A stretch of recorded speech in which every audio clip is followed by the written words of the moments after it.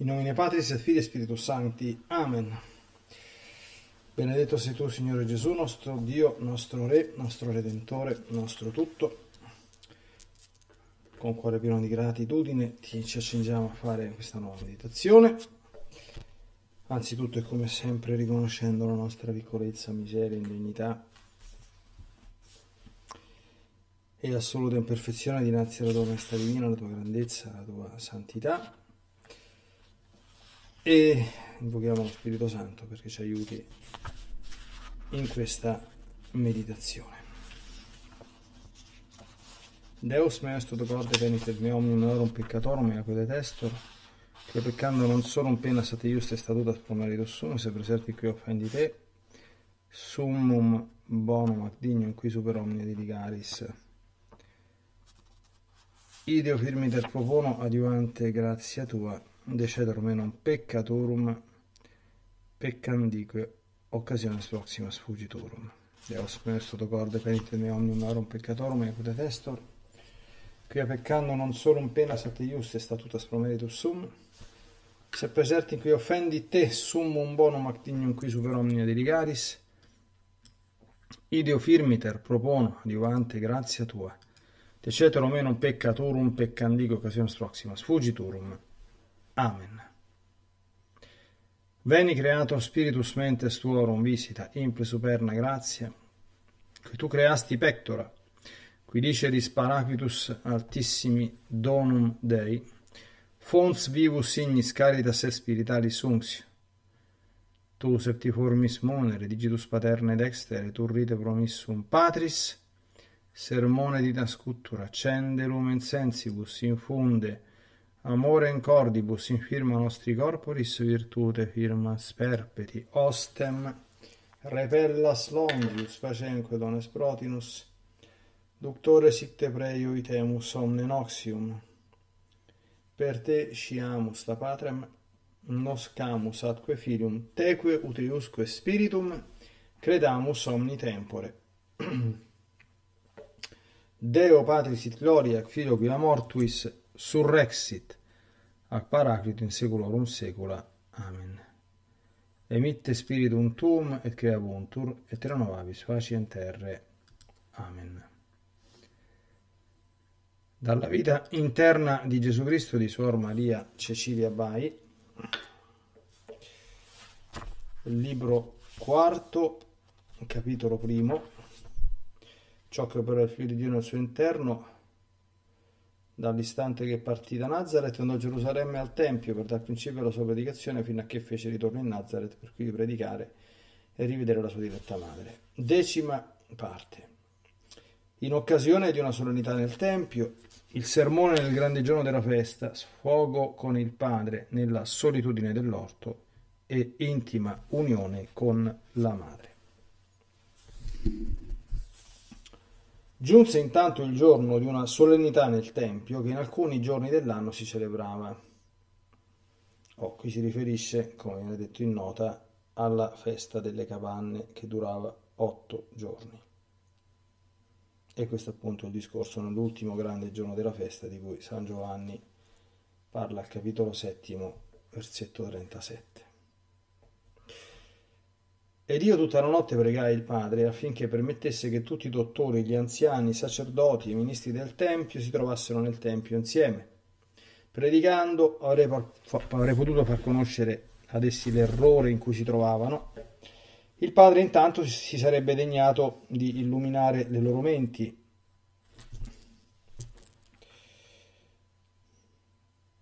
affinché conoscessero la verità della mia dottrina. Chiesi anche che tutta la gente che vi si fosse trovata fosse stata ammaestrata riguardo a quello che avrei predicato. Mi promise di farlo il padre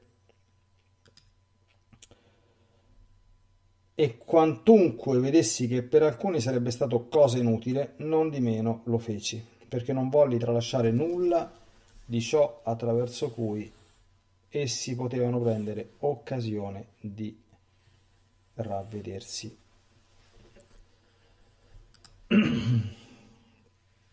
Giunto il giorno festivo ed essendo donati al Tempio una gran moltitudine di gente, Anche Forestiera e tutti i sacerdoti e ministri e dottori, terminate le solite cerimonie della legge, feci io la mia predica. predica. Tutti quelli che hanno sede vengano a me e bevano, e dai loro seni usciranno fiumi di acqua viva. Tutti attoniti si posero con molta attenzione e grande silenzio ad udirmi, e i maggiori sacerdoti non poterono uscire, uscire, perciò furono costretti a stare qui anch'essi ad ascoltarmi. Feci la mia predica con mirabile sapienza, con modo e grazia più divina che umana. Infatti la divinità che a me era unita alle volte era più palese.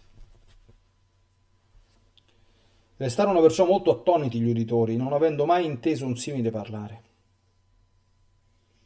Tutti ammirati e stupiti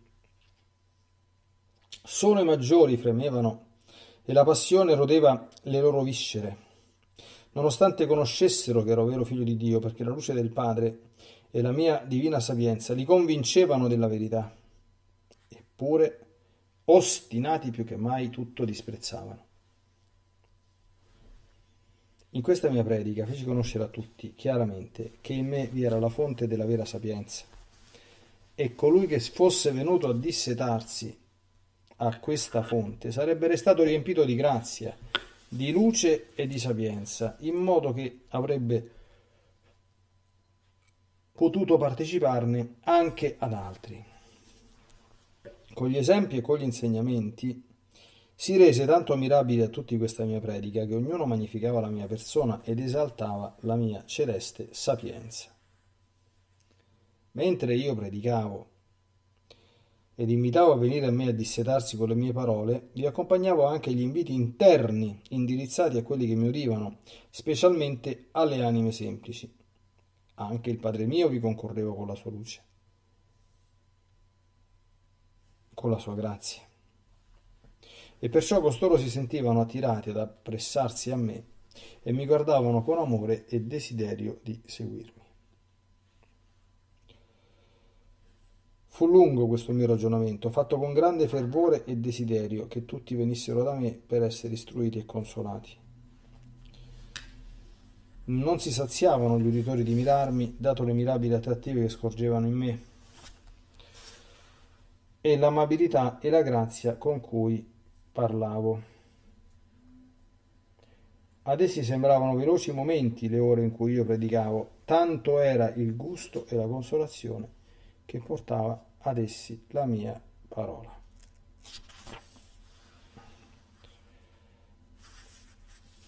Vi era però questa differenza. Alle anime semplici, che stavano in grazia, essa faceva gustare una dolcezza e un gusto di spirito, giubilo di cuore, inesplicabile, col desiderio ardente di seguirmi. Le anime invece che stavano in disgrazia le animava a ricorrere con fiducia alla divina misericordia, col desiderio di mutare vita, col proposito di emendarsi dai loro errori. Le anime superbe le atterriva e faceva conoscere ad esse la loro viltà e bassezza, infondendo nei cuori il vero spirito di umiltà. Le anime avare desideravano di staccarsi da tutto e di vivere in povertà e così succedeva per tutte le altre inclinazioni. Tutti essa convertiva e tutti illuminava, facendo conoscere chiaramente la verità che io predicavo.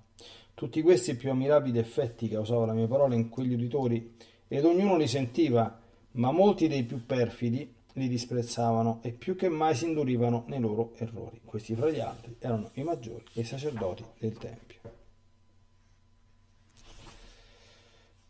Erano costoro come tante spade che trapassavano il mio amoroso cuore che li bramava tutti pentiti e ravveduti. Non credere, sposa mia, che io nel predicare che facevo con tanto zelo circa la gloria del Padre, mia, del padre mio usassi violenza, perché vedevo la perfidia, la durezza e l'ostinazione di quei cuori duri. Lo facevo sempre con maggiore grazia, affabilità ed amore, invitandoli con amore alla penitenza. Ed anche quando predicavo, pregavo il Padre per essi. Terminata la mia predica, vennero quasi tutti da me per essere di nuovo ammaestrati e consigliati, ed io davo a tutti gli opportuni rimedi secondo le loro necessità, e in modo mirabile e senza strepito consolavo tutti. Alcuni mi dicevano di volermi seguire, altri di voler ritornare, come infatti fecero molti, che spesso tornavano a me per essere istruiti. Non vi era in me accettazione di persone, trattavo tutti allo stesso modo, tanto i poveri come i ricchi. Anzi, accarezzavo più i poveri e dicevo a tutti pubblicamente che io li miravo tutti come figli del mio Padre Celeste, senza eccezione, ma che i poveri e i semplici erano da me più amati, perché erano più simili al Figlio di Dio, che era già venuto nel mondo e viveva in estrema povertà, umiltà e semplicità. Quando io dicevo questo si infuriavano i superbi, perché erano pieni di malizia e di ambizione. Non potevano soffrire di sentire che il Messia promesso fosse venuto al mondo in forma di servo e che vivesse in povertà e umiltà, perché essi ambivano il fasto e la grandezza. Terminata la predica e soddisfatti tutti quelli che si erano appressati a me, resi le grazie al mio divin padre e supplicatelo secondo il solito uscì dal tempio. Essendo l'ora tarda me ne andai all'orto per passarvi la notte, conforme a come ero solito in orazione e in preghiere, dando breve riposo alla mia umanità. Non vi era alcuno che mi seguisse in questo luogo, perché volevo stare solo per sfogare col Padre mio la pena che mi amareggiava il cuore, per l'ostinazione dei sacerdoti, scribi e farisei e degli altri che si lasciavano da essi ingannare. Perciò sfogavo la mia pena con infuocati sospiri e porgevo calde suppliche al Padre per la salvezza di tutto il genere umano. Gradiva molto il padre questa mia orazione e per le mie suppliche tratteneva il castigo che più volte avrebbe dato a quei perfidi. Devi sapere, sposa mia, che in tutto quel tempo che stetti in Gerusalemme a predicare ed insegnare alla folla, non mi dimenticai mai della mia diretta madre, che si ritrovava nella sua solitudine, pregando continuamente per la conversione di quei cuori duri ed ostinati. Tutto le era noto ed in spirito tutto vedeva ed udiva. Penetravano continuamente il mio cuore le sue voci amorose e da lei ero molto consolato. Le parlavo ancora io continuamente al cuore e la consolavo e animavo a proseguire con le sue preghiere a favore del genere umano.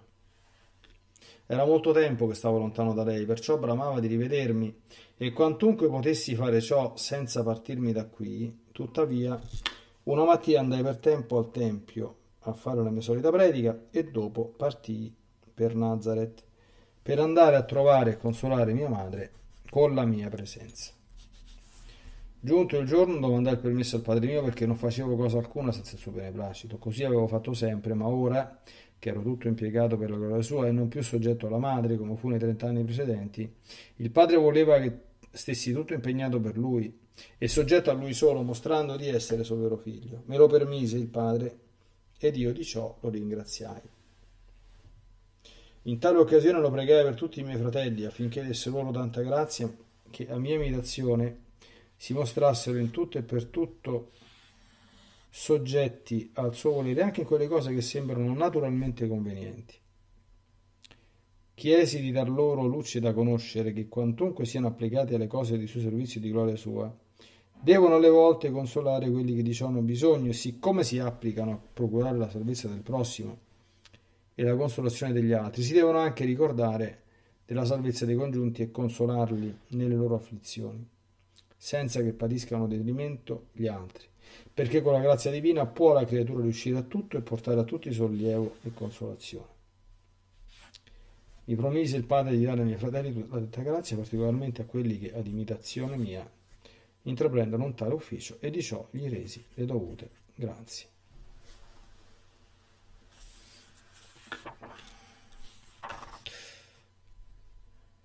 Laudentur Jesus et Maria. Bene, andiamo verso la conclusione di questo capitolo. Credo che domani riusciremo a, a concluderlo, quindi con la partenza di Gesù per Nazareth e poi alcune ulteriori considerazioni che però sono domani sugli scribi e farisei e su quello che combinano in occasione della partenza di Gesù. Ora ci occupiamo di oggi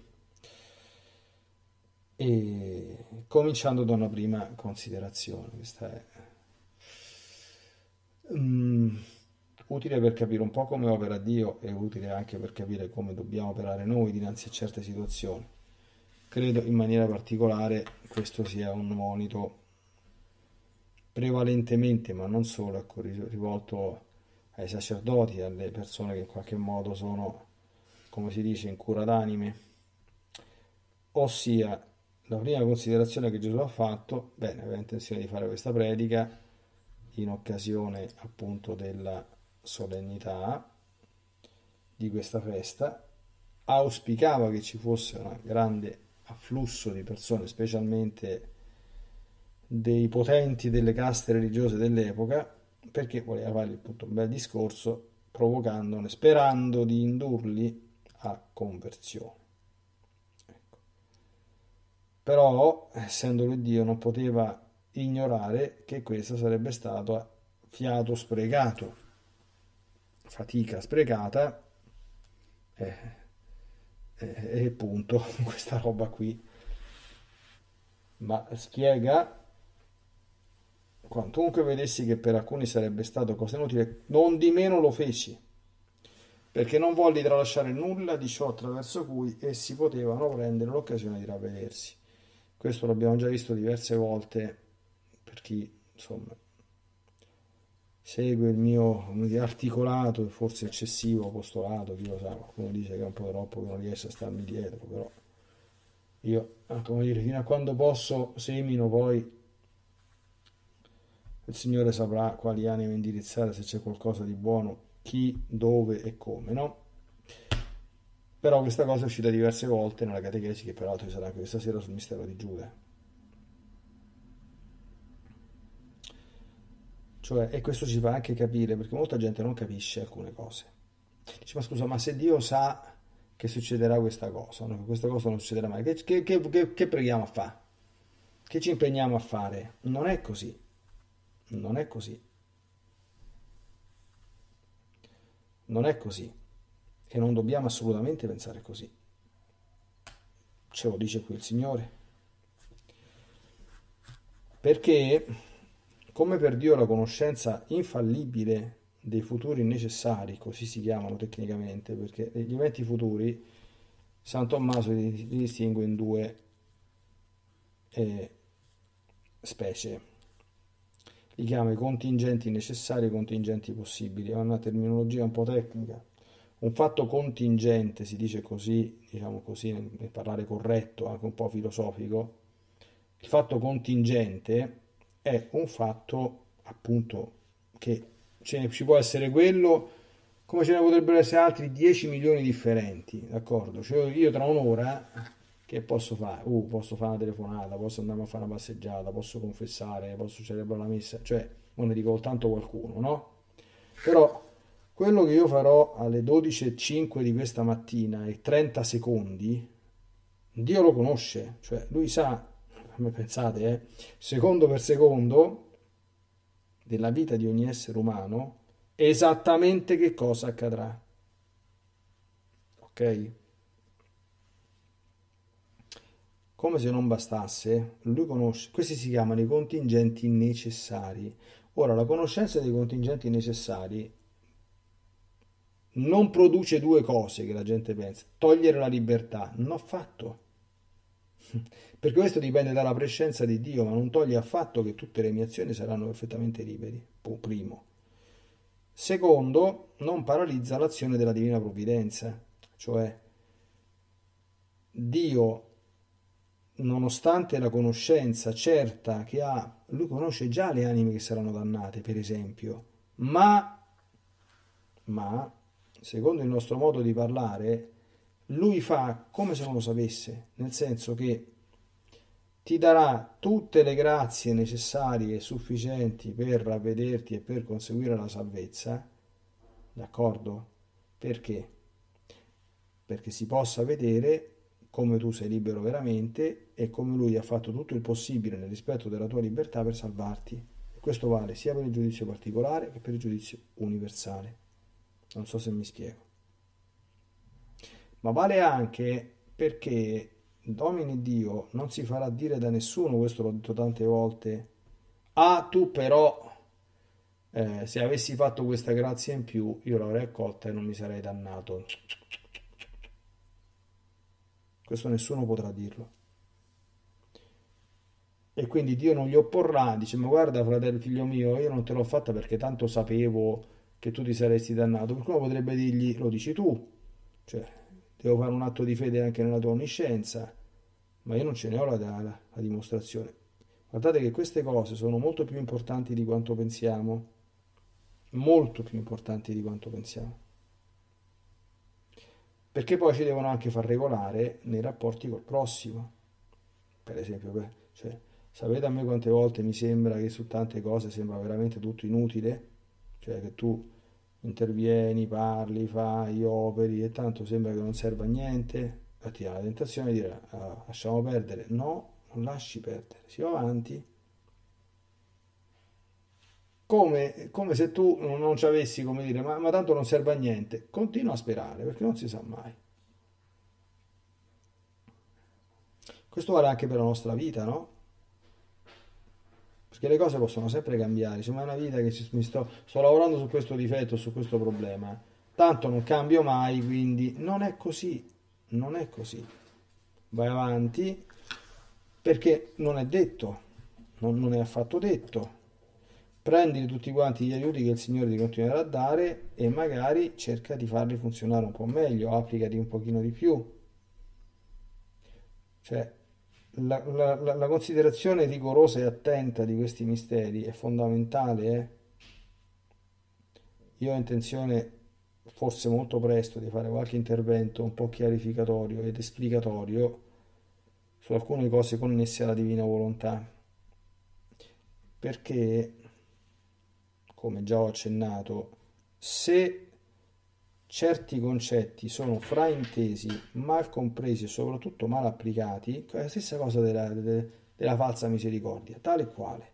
Cioè quella cosa anziché diventare un bene diventa un male a livello soggettivo, come quando uno va a farsi la comunione senza essere in grazia di Dio. Cioè la retta e corretta comprensione di alcune cose comporta poi una modalità di agire a livello pratico che è importante. Io adesso non vorrei fare eh, una cosa troppo difficile, ma il nostro agire segue l'essere, si dice in filosofia, cioè se tu non hai capito bene, cioè hai capito fischio per fiasco, poi agirai in maniera strampalata, dannosa, quantomeno erronea, sicuro, a volte anche peccaminosa. Mi spiego? E così Gesù, quando predicava a sta gente, anche questo è un monito indiretto a, a tutti i predicatori, diceva, nonostante che rivedessi così, e io non usavo violenza, quindi il linguaggio violento, aggressivo, va bandito. Usavo sempre la pacatezza, la dolcezza, cosa dice? La grazia, l'affabilità e l'amore. Si dice anche nel parlare comune che la calma è la, è la virtù dei forti. Tutti siamo tentati ogni tanto di, di, di partire per, per la tangente. Non bisogna assecondarla questa cosa. Perché diceva un saggio papà di un mio amico d'infanzia, lo ricordo sempre per questo motivo, che la, la La sapienza e l'umiltà parlano, l'ignoranza e la superbia urlano. Mm? Ok? Non c'è bisogno di assumere toni aggressivi, violenti, mai. Certo, magari ogni tanto uno, come dire, anche Gesù ogni tanto... Mm? Era un po' più infervorato, d'accordo? Ma sempre mantenendo la misura.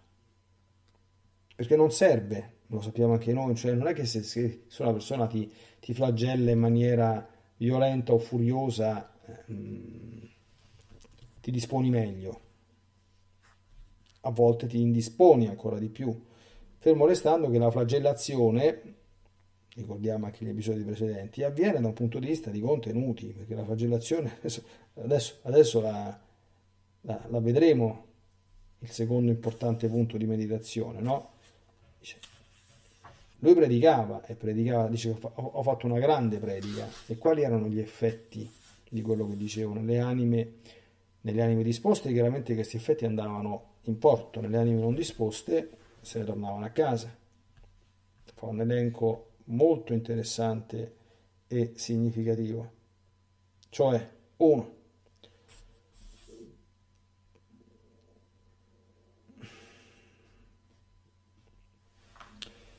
Le anime che stavano in grazia, premessa, sentire quelle prediche provocava una dolcezza e gusto di spirito, giubilo di cuore inesplicabile, desiderio ardente di seguirmi.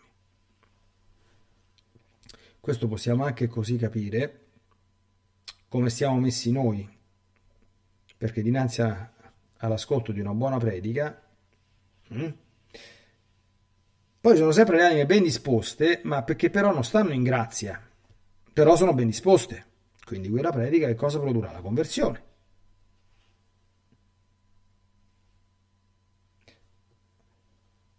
Le anime che stavano in disgrazia, le, le animava a ricorrere con fiducia alla divina misericordia. Attenzione, col desiderio di mutare vita e col proposito di emendarsi dai loro errori. Vedete che desiderio di mutare vita e proposito di emendarsi dagli errori perché senza questo non si fa nulla. Allora, uno, le anime superbe le atterriva la sua predicazione, quindi non è che quindi non era, come dire, eh, una pilloletta allo zucchero, no, le atterriva e faceva conoscere ad esse la loro umiltà e bassezza, infondendo nei cuori il vero spirito di umiltà. La nostra umiltà e bassezza, questa riguarda tutti, riguarda. Guai a chi se ne dimentica. Quindi, primo vizio capitale. Secondo vizio capitale, l'avarizia. Le anime amare, desidera- avare scusate, desideravano di staccarsi da tutto e di vivere in povertà. Sappiamo chi sono le anime avare, no? Quindi L'avarizia è vizio capitale complesso, ho scritto un libretto su questo, perché l'avarizia comprende in sé anche la cupidigia, che stava proprio nel Vangelo della messa di oggi. Guardatevi e tenetevi lontani da ogni cupidigia, perché anche se uno è nell'abbondanza, la sua vita non dipende dal suo bene. La parabola del ricco stolto. Perché la cupidigia è il desiderio, cupiditas, eh, in latino significa proprio appunto brama, desiderio di cosa? Dei beni temporali. E l'avarizia è la tendenza all'accumulo e a trattenerli tutti solo per sé. Questo è l'avaro. Quindi a non spenderli.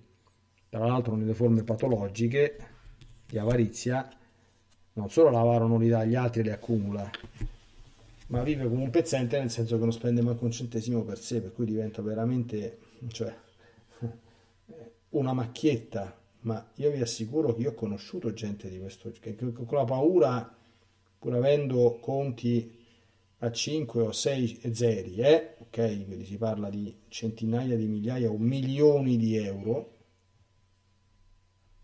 ha fatto una vecchiaia grama privandosi di tutto, morendo, lasciando patrimonio del genere, senza figli, ma guardate, cioè quando si vedono certe cose si vede proprio veramente la bruttezza del vizio, del male e del peccato, perché, cioè dico no, è, da pazzi, purtroppo però il peccato ci porta alla pazzia. Ecco. Nelle forme di conversioni proprio di chi gli viene proprio il disgusto, dice basta. Attenzione, abbracciare la povertà non significa ipso facto abbracciare l'indigenza assoluta come quella di nostro Signore Gesù Cristo, d'accordo? Perché si può essere evangelicamente poveri anche possedendo dei beni, no? quindi imparando ad amministrarli saggiamente e santamente. Non tutti sono chiamati a lasciare tutto, questo in modo che nessuno provengano eh, gli scrupoli e le paturnie. E dice così succedeva per le altre inclinazioni. Qui fa gli esempi, no? E tutti questi più ammirabili effetti causavano le mie parole in quegli uditori ed ognuno li sentiva.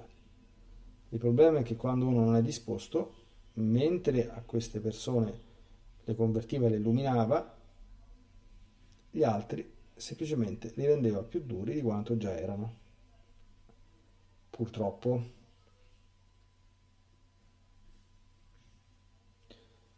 Ecco. Mm. Dopodiché Gesù torna di nuovo a Getsemani, abbiamo visto di nuovo eh, pregare per le spade che gli trafiggevano il cuore, cioè l'ostinazione dei cuori inconvertibili.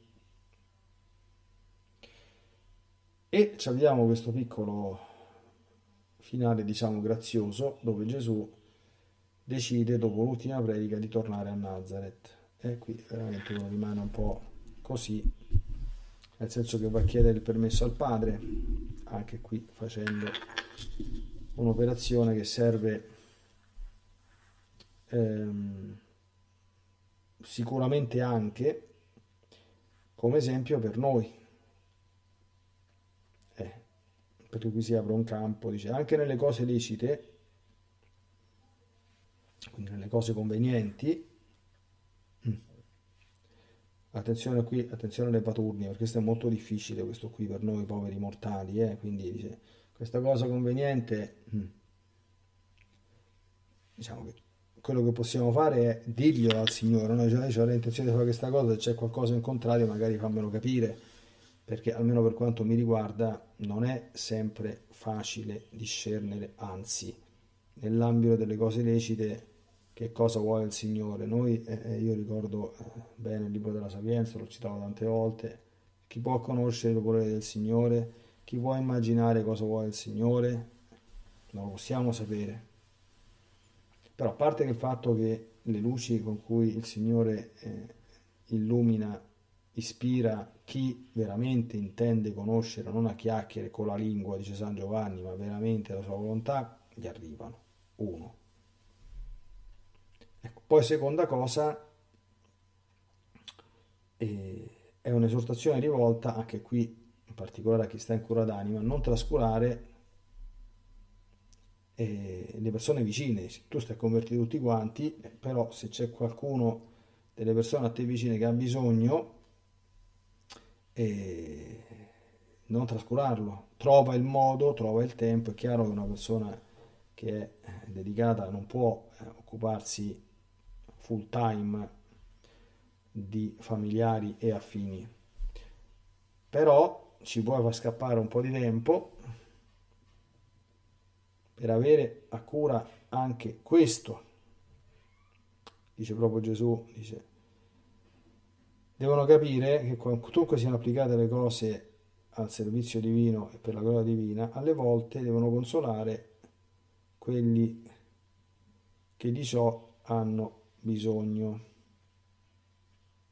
appunto tra i prossimi, no? siccome si applicano a procurare la salvezza del prossimo e la consolazione degli altri, si devono anche ricordare della salvezza dei congiunti e consolarli nelle loro afflizioni, senza però che patiscano detrimento agli altri.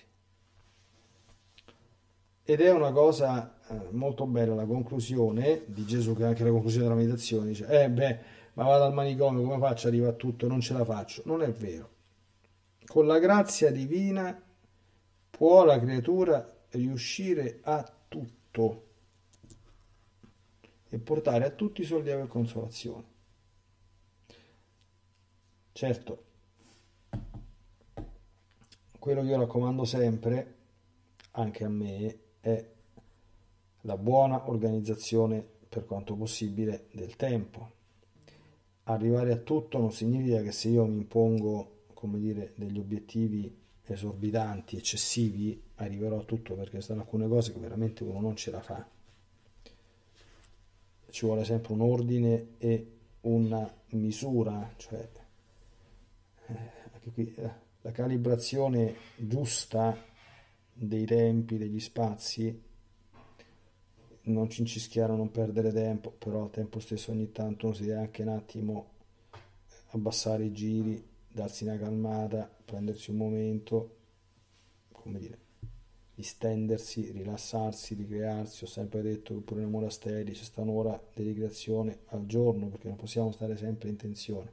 Però anche questo va fatto con misura, perché se te ciondoli per due o tre ore perdi un sacco di tempo, quindi dobbiamo essere sempre vigilanti e attenti, tenendo sempre come eh, obiettivo l'equilibrio, la giusta misura, che non ci sono ricette, pure dopo la diretta non mi dite qual è la giusta misura, la giusta misura è la devi trovare tu, cioè devi fregarci sopra e dentro il tuo contesto di vita, dentro la tua situazione di vita, dentro il tuo concreto habitat, in quello che fai, cioè, per esempio, una persona che vive in una parrocchia di 700 abitanti come vivo io non è la stessa cosa di uno che c'è che a Roma parroco di una parrocchia di periferia di 50.000 abitanti, quindi è chiaro, no?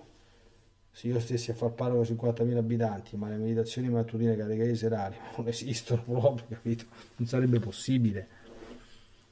Non sarebbe possibile, a meno che non trascurassi proprio di fare completamente il parroco, capite, no? Quindi dipende una persona che vive sola per scelta è diversa da una persona che è sposata e ha sette figli. E questo, questo, questo, cioè, non è che ci vuole la scienza infusa per capire queste cose, no?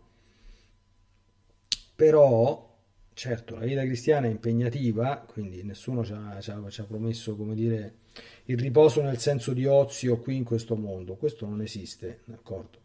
Il giusto riposo sì, dobbiamo prenderlo, ma il, il giusto riposo, se uno dorme 10 ore al giorno a notte, insomma, è un po' troppo, ma anche lì il giusto riposo è che è calibrato perché dobbiamo vedere qual è per noi il giusto riposo, quindi essere capaci di discernere quando è troppo poco e quando è troppo. E quindi eh, ci sono dei parametri, ecco, diciamo così, eh, orientativi, che sono robe da, da direttore spirituale, dice quanta è il, la misura di sonno per un adulto,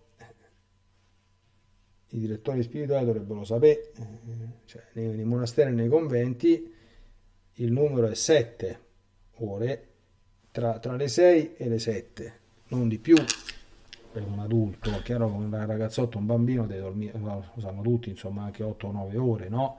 Eh. Potrebbe anche scendere questo, questo numero, potrebbe arrivare a 5,5, a 5 in certi casi, no? Quindi dipende, lì bisogna vedere eh, la persona che fa, che non fa, come sta, come reagisce, come... cioè tante cose, no? Ecco, comunque.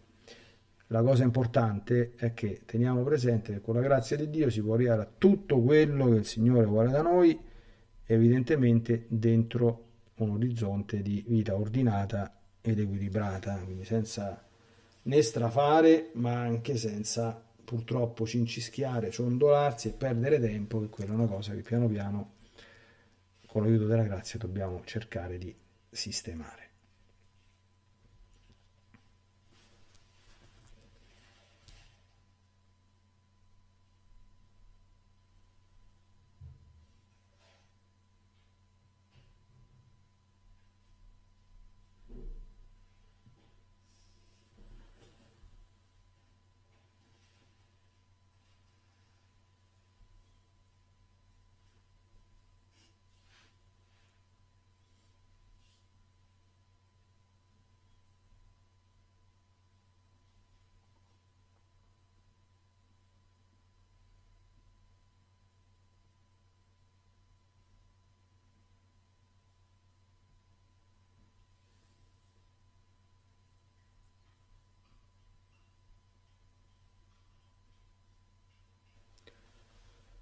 Ringraziamo anche oggi te, Signore Gesù, per tutto quello che ci doni, per gli esempi che ci dai per le esortazioni che ci rivolgi, per le sollecitazioni. Aiutaci a camminare sempre con il cuore aperto ecco, e, e disponibile. Salvaci soprattutto dalla superbia e concedici sempre lo spirito della vera umiltà che è veramente ciò che ci salva da tantissime cose che non vanno, da tanti pericoli e da tante stupidaggini e da tanti peccati. Magnificat anima mea Dominum et exultavi spiritus meus in Deo salutari meo qui respexit unitate mancille sue cenio ex oquiata me dicent omnes generationes quia fecit mihi magna qui potens est et sanctum nomen eius misericordia eius a progenie progenie stimentibus eum fecit potentia in brachio suo dispersi superbos mente cordis sui deposit potentes te sedet exaltavit humiles esurientes implevit bonis et divit estimisit inanes suscepit Israel puerum suum recordatus misericordiae sue. Sic ut locutus est a Padres nostros Abraham et semineus in secula Gloria Patri et Filio et Spiritui Sancto sic ut erat in principio nunc et semper et in secula seculorum Agimus tibi gratias omnipotens Deus pro universis beneficis tui scriveste regnas in secula seculorum. Amen. Deus et nobis suam pacem vitam aeternam. Amen. Laudentur Iesus et Maria. Nos cum prole pie. Benedicat Virgo Maria.